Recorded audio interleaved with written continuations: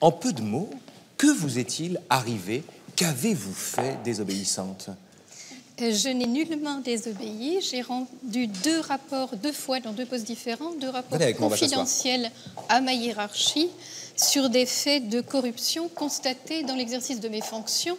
Et c'est très exactement ce que je devais faire, ne fût-ce qu'au regard de la loi française et de ce qu'on appelle l'article 40 alinéa 2. C'est-à-dire que donc vous avez appliqué la loi en vérité. Tout agent hein. public doit signaler effectivement. Voilà. Donc la première fois, j'ai trouvé des soupçons d'abord une très mauvaise gestion je, suis tombée dans une institution de 10 000 mètres carrés, 7 bâtiments, 61 agents, mhm. pas de contrat de travail, alors que étaient, certains étaient embauchés depuis 17 ans, pas de caisse de retraite, pas de caisse maladie, euh, pas d'assurance ni sur les bâtiments ni sur les personnels. On parle du Quai d'Orsay, là. Donc j'avais, on parle du département culture du ministère des Affaires étrangères, effectivement.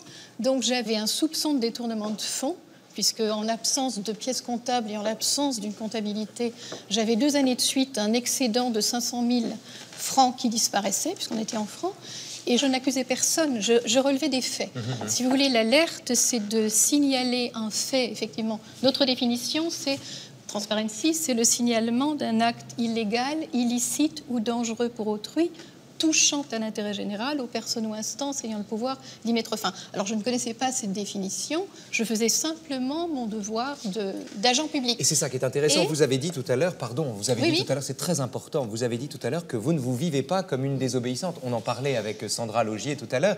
La désobéissance, entre guillemets, est une façon d'obéir à une loi supérieure. C'est d'une certaine manière ce que vous avez fait vous-même. Je n'ai pas du tout. Alors, si vous voulez, on, peut reprendre les choses, mais je crois que dans. C'est quand même une chose importante de dire qu'il y a dans ce qu'on appelle les lanceurs d'alerte deux branches, si vous voulez. Mais la majorité des gens que je connais et que nous soutenons sont des gens qui ont tout simplement voulu appliquer la loi de leur pays, qui se sont donc opposés au fait de commettre des détournements de fonds ou, euh, je veux dire, nous défendons par exemple un directeur administratif et financier mm-hmm. dépendant d'une caisse d'assurance maladie qui a perdu son, qui a été licencié pour faute grave pour avoir refusé de créer des emplois fictifs en France. Bon, j'ai moi-même été menacée, déplacée, mutée sous un petit poste avec une, note abaissée, tout simplement parce que j'ai rendu à ma hiérarchie un rapport confidentiel. Je n'ai pas fuité dans la presse, je n'ai pas. Vous voyez, je veux dire, j'ai rendu à ma hiérarchie, j'ai été menacée, j'ai été déplacée, mutée, et je suis redevenue une excellente élève, puisque j'étais très bien notée, très bien évaluée jusqu'à ce que je rende ce type de rapport. J'ai de nouveau eu un très gros poste, en plus en Allemagne, donc dans un pays, euh, voilà, un poste important.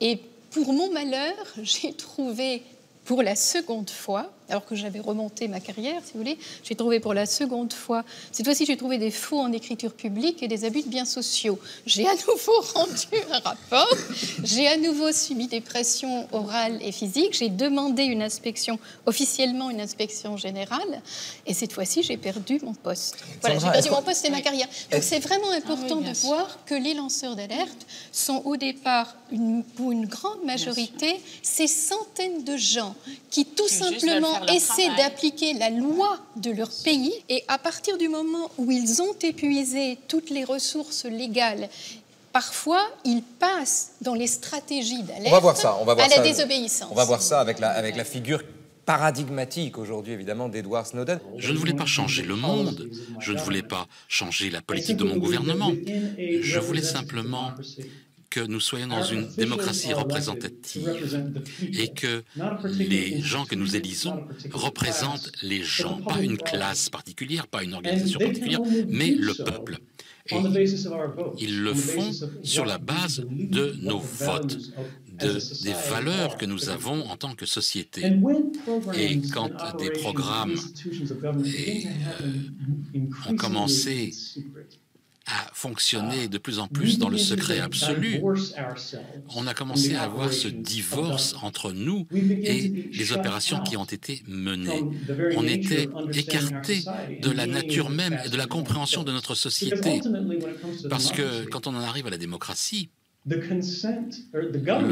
le, gouvernement est fondé sur euh, l'idée d'un consentement euh, des gens qui les ont élus. Donc, ce sont des gens qui sont censés diriger les opérations en notre nom. Mais si nous ne comprenons plus les programmes qu'ils disent mener en notre nom et les directions qu'ils ont prises dans ces opérations et qu'ils les mènent contre nous et qu'ils les font en notre nom, eh bien, nous ne faisons plus partie de ce gouvernement. Nous devenons les sujets de ce gouvernement. alors, si je prends l'angle des lanceurs d'alerte, j'ai tendance à me référer à la parésia. Quel sens donnez-vous à la parésia quand vous la citez Les deux piliers de la démocratie grec, mhm. selon notamment Polybe, c'est effectivement l'égalité devant la loi ou l'égalité de l'accès à la parole publique dans l'agora, ce qui revient à l'égalité des droits, mais ce sont deux branches déjà différentes de l'égalité des droits, et la liberté de dire la vérité. Parésia. Et la parésia, c'est un acte de franchise et de conviction qui engage intrinsèquement l'être contre l'éloquence, la séduction, l'apparence et elle, elle signifie qu'il y a courage parce que cet acte, cette parole vraie met en risque la personne face à l'Assemblée qui peut l'exiler si elle n'est pas d'accord ou face au tyran qui va le vendre comme esclave. Vous voyez, désobéir n'est ni facile ni simple. Qu'elle dénonce une malversation ou qu'elle attaque une injustice, c'est toujours paradoxalement à la loi elle-même que la désobéissance en appelle qu'elle prenne la forme d'un rassemblement, d'une collectivité protestataire ou d'une simple fonctionnaire qui, depuis son bureau, fait son travail en pointant les irrégularités du corps où elle se trouve. La désobéissance est toujours un appel à la loi, tantôt à son amélioration, tantôt tout simplement à son respect.